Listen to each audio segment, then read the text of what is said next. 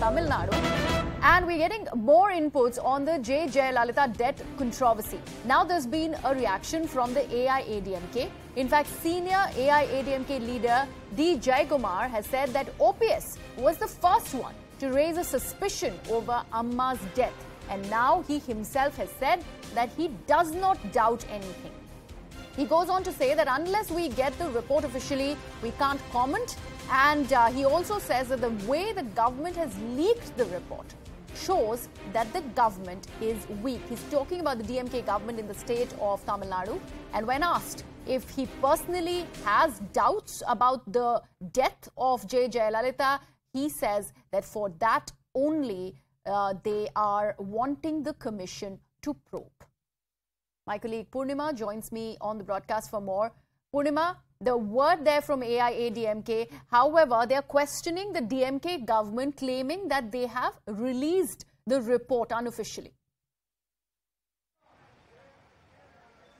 Absolutely. In fact, uh, D. Jaykumar, senior ADMK leader, also a loyalist of uh, Edapadi Palanisami's camp, uh, maintains that uh, they will not uh, uh, make a comment or react to uh, a select uh, leak from the government because yesterday, after the cabinet meeting, an official press release by the DMK government said that the Arumugasamy Commission that was set up five years ago to probe the treatment meted out to J. Jayalalitha and in turn leading to her death, uh, inquiry against VK Sasikala and uh, former health minister among others uh, should be conducted for which the DMK said that they will seek legal opinion from experts before taking a final call. However, the report is not made official and therefore ADMK maintains that till the 567 page report is made available to them, they will not react. However, when asked if uh, he personally believes that there could be any foul play in the treatment and uh, treatment of J. Jayalalitha, he says that uh, the commission was set up to probe that and that he will not react further. So those were the first comments that we got from the ADMK, uh, from the Edapadi camp, even as uh, the other uh, senior leaders have so far maintained silence on this issue, saying that it's it shows the government's weakness because they are only leaking a select portion to get political mileage. Right. Uh, Purnima, the fact that when AIIMS has come out with a report and they have actually cleared any sort of uh, conspiracy theory, they are saying that the death was a natural one. The DMK government is still going about uh, when it comes to the probe. On what grounds are they doing it? Because here the, they are actually trying to go ahead and get uh, people like Sasikala in question. There are three other people who are being claimed that they should be probed in this particular matter.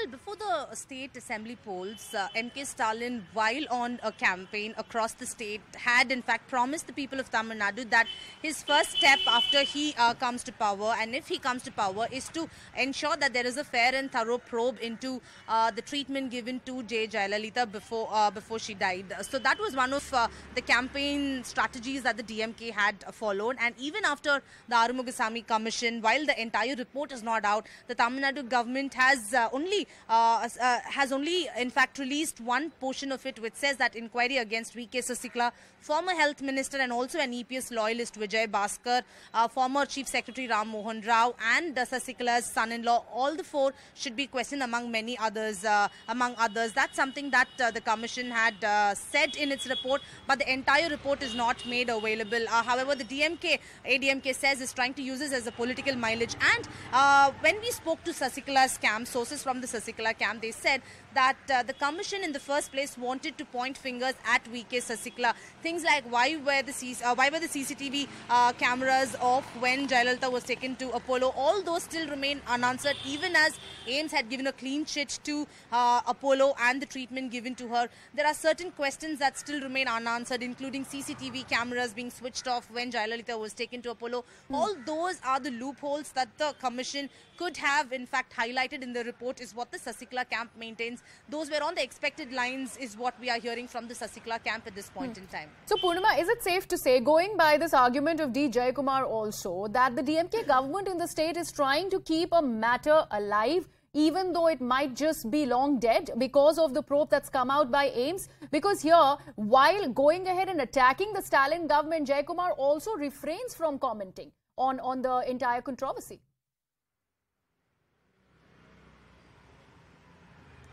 Absolutely. Jay Kumar also, uh, while uh, speaking to CNN News 18 a short while ago, said that it was O. Selvam who raised suspicion over the death of J. Jayalalitha in the first place. And when he appeared before the Arumugasamy Commission, uh, and after that he met the media and made it clear that he personally does not have doubts and he trusts V.K. Sasikala, uh, who was with Jayalalitha during the entire uh, process. And he, in fact, uh, made a U-turn saying that he does not raise any doubts over the treatment given to Jayalalitha. So uh, D. Jaykumar also added that while speaking uh, a short while ago and said that the commission was formed uh, to probe the case and why is the entire report not out? Why is the government uh, giving only uh, a select or why is the government leaking only one or two points from the entire report for which they really have to read the entire report before making their comments. That's what the ADMK says. But DMK wanting to keep this alive, which is why after the cabinet meeting they made, they in fact released it uh, through an official press release and that uh, the ADMK says is a political mileage and a way the DMK wants to continue to keep this topic alive going forward as well. All right. Uh, Purnima, thank you so